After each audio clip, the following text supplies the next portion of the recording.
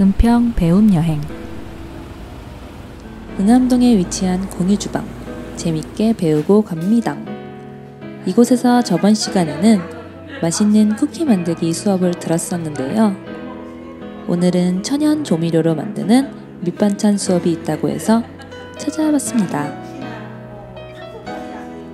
오늘은 총 9분의 수강생분들이 참여해 주셨는데요.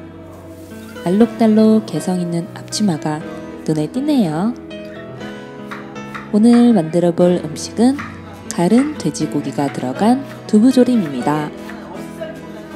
준비할 재료는 두부 한 모, 대파, 청양고추, 양파 작은 것, 식용유, 마늘, 고춧가루, 돼지고기, 올리고당, 간장, 물. 가정에서 쉽게 구할 수 있는 재료들로 우리 맛있는 반찬 만들어 볼까요? 양파, 대파, 청양고추를 썰고 두부도 1cm 정도의 크기로 썰어줍니다. 양념장은 대파, 청양고추, 마늘, 고춧가루, 올리고당, 간장, 식용유를 넣어 마구마구 섞어줍니다. 팬에 썰어 놓은 양파를 깔고 두부를 올리고 양념을 올리고 중간불에서 끓여주면 완성! 이제 배운 대로 우리 열심히 만들어 볼까요? 음식 만드는 소리만으로도 미각을 자극하는 이 느낌!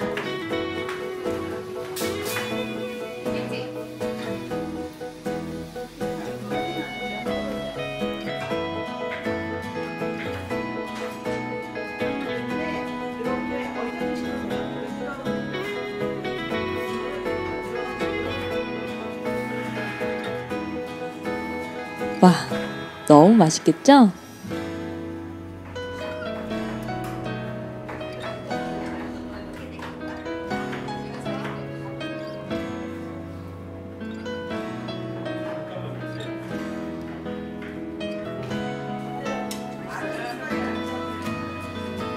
다 같이 음식을 만들고 만든 음식을 시식도 해보고 즐겁고 맛있는 수업이었습니다.